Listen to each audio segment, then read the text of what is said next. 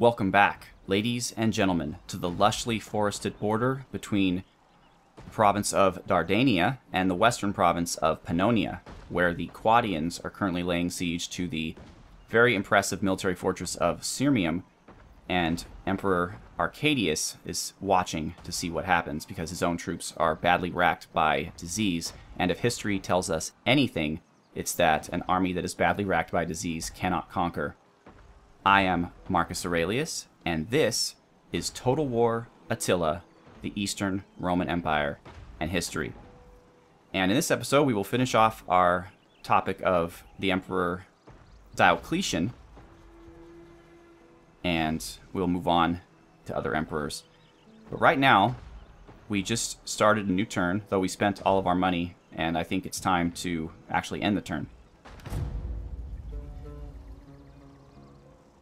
At the end of the last episode, I spoke about how Diocletian remade the role of emperor to be one that's kind of blessed by the gods or chosen by the gods, and he created this whole elaborate apparatus to deify himself, not as a god necessarily, but as chosen by God, in order to prevent assassinations in the future, to create a more stable Roman state because of the crisis of the third century and all the different emperors and assassinations. It was just horrible, and the empire really suffered as a result of it. But what was remarkable about Diocletian is when he, well, many things were remarkable, but one remarkable thing that is relevant to us in this LP is that when he did divide the empire into two parts, east and west, and gave the other part to his co emperor, the part he chose for himself as senior emperor was not, as you might expect, the west with Rome, but the east. He actually chose the city of Nicomedia, which isn't on here, but it's around here, for his capital. And it's the first acknowledgement that the Roman East was actually more culturally and economically powerful and wealthy than the West. That's important because, as we all know, when the division happens, the West falls, the East survives. So he might have been prescient in that moment by kind of moving the apparatus of power from the West to the East. Okay, so the people here are pretty unhappy, which they should be. I've been neglecting them because they're right here on the border. But I think I shouldn't anymore. We have two farms, which I think are kind of worthless because I don't think the fertility here is very good. Well, no, it's actually okay. It's at least as good as Bithynia. Base fertility of 4, and I mean Bithynia. So it's the same as Thracia. I think the fertility changes depending on the season. But Egypt has the best at 5, and the islands and Osroene. So actually, building farms here are not a bad idea. It's just that this place is going to be constantly under threat. This whole area is kind of scary area, so I'd rather spend my money here. But the problem is the only decent farmland we have is here, and as we discovered in the last episode, the islands can't even feed themselves. No. Okay, so, but I do need to do something about the diminishing... Well, the public order is actually growing, but I need to do something. So, hmm. Or should I just kind of not do anything and instead spend the money elsewhere to make more money and then come back in a later turn and do something? We're still losing men. I wonder if I go over to Thracia, will we still lose men?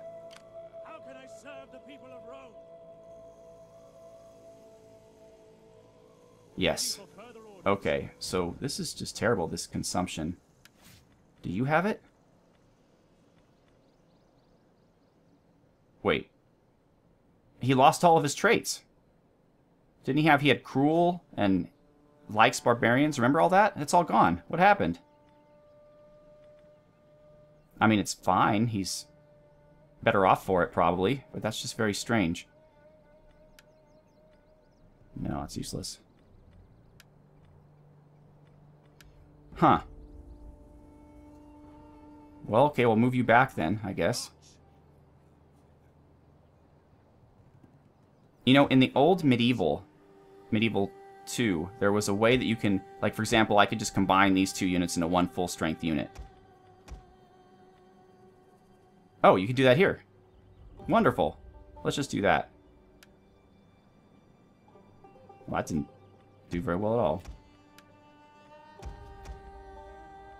Okay. Well, it's kind of a crappy command. Doesn't work very well. But at least now we have some full strength units. Okay. And the archers, I don't mind them being spread out, actually.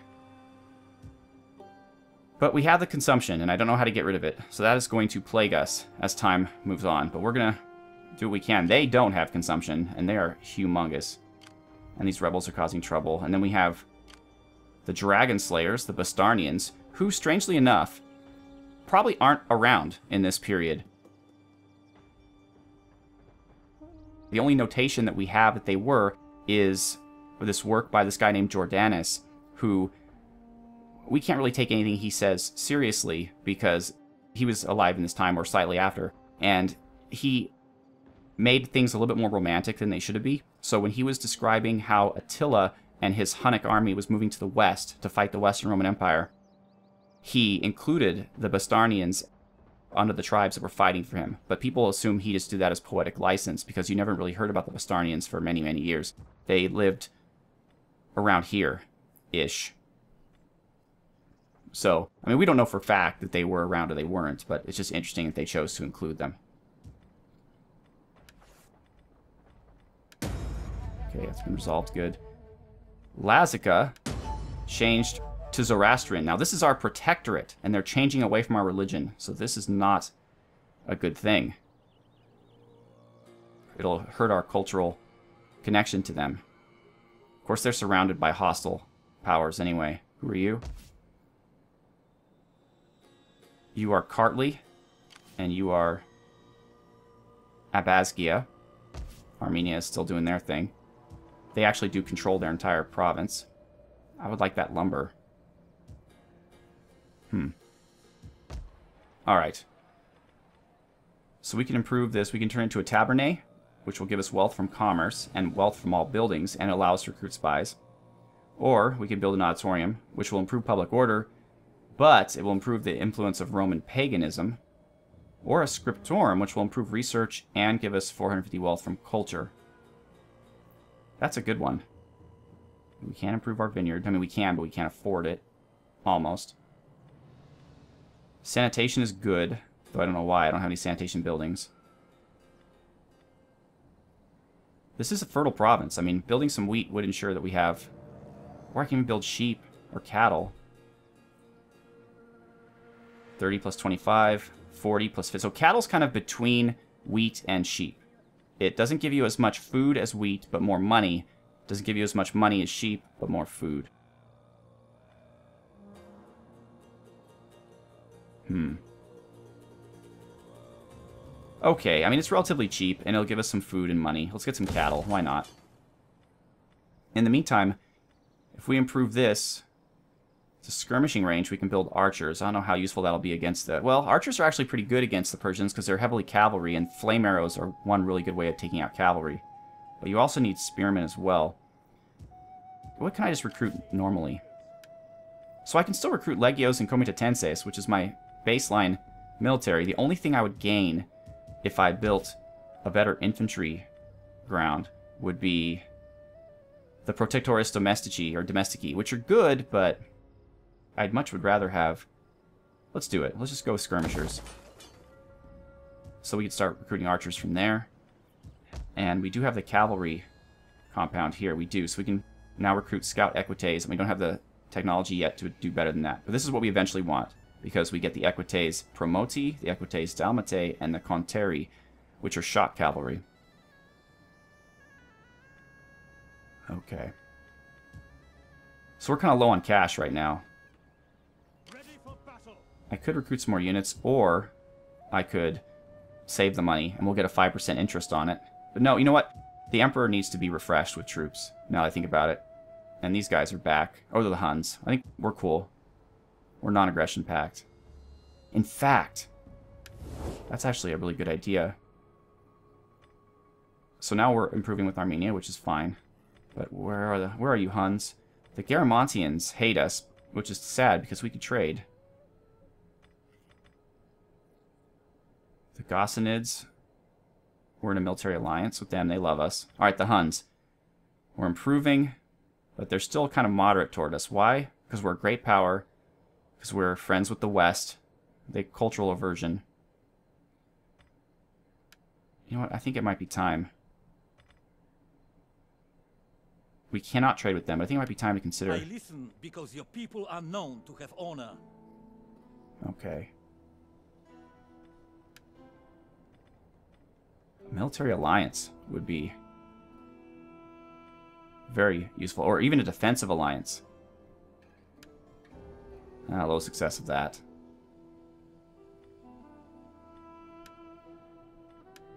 You know what, let's just keep him happy. Give him a small gift. The That's what they did historically. They paid off the Huns. Should work for us. These guys hate us. They're actually at war with us. They're a horde. Does anybody like us that we could trade with? The Sassanids. And they don't like us enough, unfortunately. We are at war with the Vandals. Okay. Sassanids really like us. My master extends the most magnificent welcome to you I mean, your honorable people. Why would they not want this? They get access to all this stuff that they don't already have. Whatever. Alright. Leaving diplomacy for a minute now. the people of Rome. I will journey to the ends of the world for Rome. Okay. I want hourly patrol. Alright, so public order is deteriorating here, even with the presence of the army. Why? Sanitation and disease. Okay. Oh, shoot. Well, I wanted to build waterworks, but we can't, so we'll have to wait till next turn to do that. We'll just leave it as a construction site for now. This guy's well set up. He's doing just fine. The Emperor could theoretically raise units of his own. They just wouldn't be as good in experience as what this gentleman can do.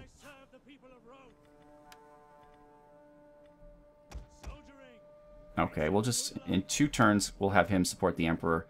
Right now, we, we'll move the Emperor back. He's just... I'm worried about him. There's just too many barbarians here, despite how awesome he is. Let's go take a look at these guys. Oh, they're the Huns, right. We're not at war with the Huns.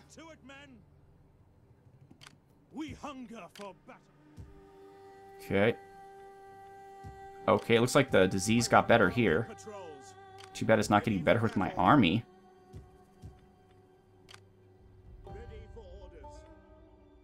Is the army too big? Like, I just don't get it.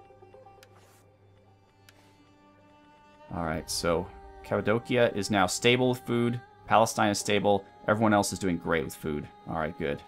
Bithynia. So Cappadocia, oh right, taxes. They're still unhappy even with the lower taxes. Or, sorry, the not lower taxes, but removed taxes. Um, I don't really know what to do about that, so we're just gonna let things kind of go. There's not much I could do, really. It's religion and religious differences. Ah, I see. Paganism's on the upswing, Greek Christian is on the downswing. So what we'll do is we'll build a church. Maybe next turn, maybe the turn after that. Okay. Eutropius, you are my eunuch. Oh, and you have low construction costs. That's excellent. We'll give you better public order and less corruption. Okay, you are the governor of... Oh, you're the loyal guy, right? Growth plus 10. That's wonderful. We'll improve research rate there. And either should we remove corruption or should we improve public order? Corruption. Okay. Okay, so finally, putting an end to our discussion about Diocletian, the other really notable thing about what, and I saw that army, by the way, or navy, heading toward Constantinople, don't worry. the really notable thing about Diocletian was, after serving as emperor for a number of years, he did what no other emperor before him had ever done, which is he abdicated his role peacefully and let his Caesar, the guy under him, take over. And he also convinced the Western Augustus to do the same thing. So he retired to his huge palace compound, which still stands today in the city of Split. In that time, it was called Salona, and he basically retired to grow cabbages. And uh, while there were attempts later on to get him to come back as emperor because things kind of deteriorated after he abdicated, he did not do so. So that's one thing that makes him very interesting. He just he said, you know what, I'm just gonna peacefully retire and grow cabbages because that is more impactful and entertaining than being the emperor.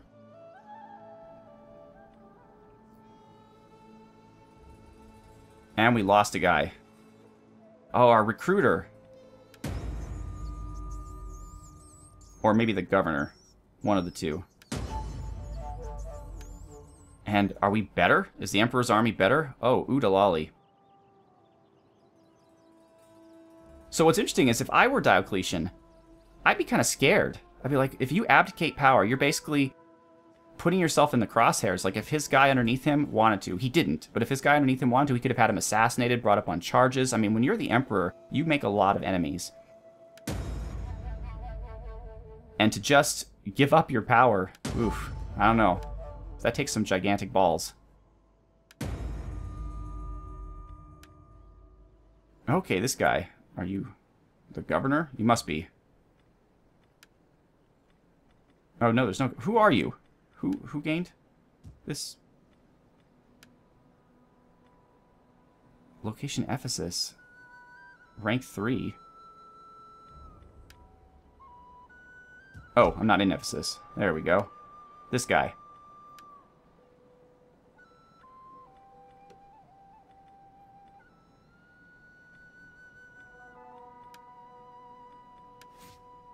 Okay. We can recruit better cavalry. That's useful. Construction costs for sanitation, sure. Why not? Or we can improve public order. Or we can improve his zeal. Recruitment capacity.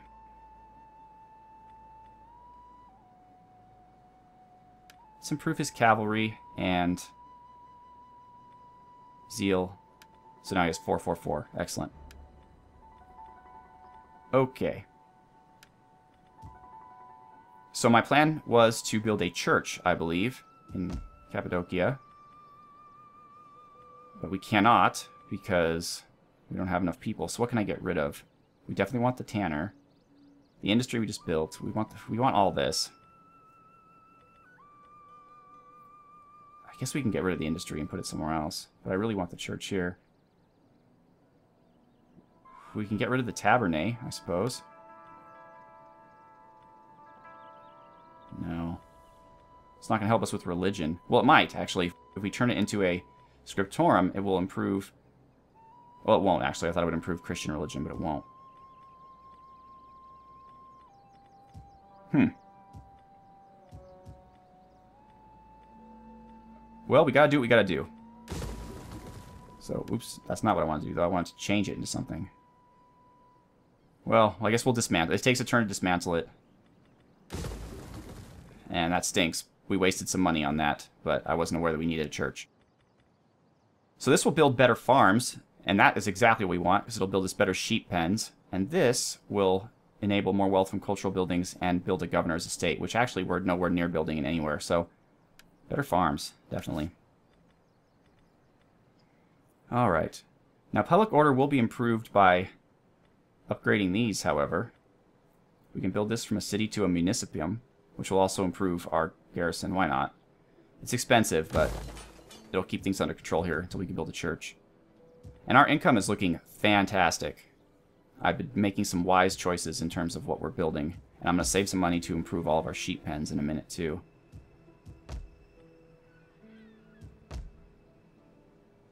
Oh, and we also cleared some land down here to build a waterworks. Or we didn't. I thought we did. Oh, yeah, we did. Construction site. Okay. Waterworks. And we're out of money. Okay, we're still losing men. This is really beginning to bother me a lot.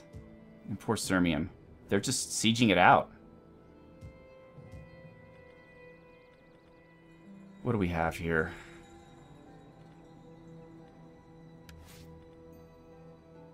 This is an expensive force just to be sitting around. I wish it would tell you how many men total it had. Integrity's amazing. So, unit experience plus one for light unit recruits. I think that's only if the general recruits units himself, though, not if they move over. So that's not that useful. Integrity in foreign territory would be good. I don't know, folks. What should I do? Should I move to assist? The rebels are more powerful now than they were before. I should have crushed them when I had the chance. The Ostrogoths have already taken over these two places. There are more rebels here. And then there are more Quadians here. The west is just folding like a lawn chair. And there's nothing I can do to help them. I guess I can take out these rebels down here and save Domavia. And then I could possibly take out these guys. Commander? Hmm. At once. We're still under the pestilence. This is not the smartest move. But I'm counting on the fact that I'm pretty formidable that these two won't decide to attack me. But if they do, I'm in some trouble. But Arcadius is a loyal Roman, and he doesn't want to see the cities of Salona and Domavia fall to rebels and heretics. Make haste, men. Call this a garrison? Alright. I want to recruit some more troops with this guy, too. How much does your force cost? 15. And their integrity is actually pretty low. They have no tradition. They've just been sitting around on their butts. They haven't really done much of anything. And their morale is down, and their integrity. Why? Is it your fault, sir? No, you're actually pretty good, in all respects. So it must be because of their integrity. Due to pestilence and attrition. So hopefully as soon as they get better. And their symbol is like a cat. That's alright, I'll keep that. We'll just have this guy walk around, scout the border. people of Rome, How's Nisibis? Beginning my journey for Rome. Sad that everybody's sick. I wish there was a way to fix this. And finally, this army. Probably... Who are you? The Alans, who wanted peace with us, but I think it might be a wise move to To your duties, reinforce Constantinople. In fact, you, sir. I want you to... Can you move down here? No, you can't. Oh, you're recruiting troops, so you can't really do much of anything. Let's unrecruit. I don't know if we lost that money. I hope we didn't. And let's move down here. Why? So that you can recruit some cavalry. You back up the city just to see what these guys are up to. Okay. Syria and Thracia are now impoverished in terms of food. Constantinople has some problems with sanitation. Maybe I'll fix that. Nope. We don't have enough population. Although I could I can improve this to the bathhouse. That'll be a quick sanitation push. And Trimontium is relatively safe compared to Marcianopolis, so that's that's something I could do. And then it'll help the city, so that way I don't have to waste one of its important slots. Alright. Well, ladies and gentlemen, next episode we will discuss Constantine the First, also known as Constantine the Great, and what he did as emperor. We will maybe fight the Alans, maybe fight the Western Roman rebels. Who knows? There'll probably be more fighting, though. These past few episodes have been a little short on the fighting, I understand, but that's good. It's allowed us to really develop our economy. We have a great income. We've really been able to improve our cities and improve the happiness of our people, which is really important, especially once the enemy troops start invading. So, once again, I am Marcus Aurelius. Thank you so much for watching. Have a good one.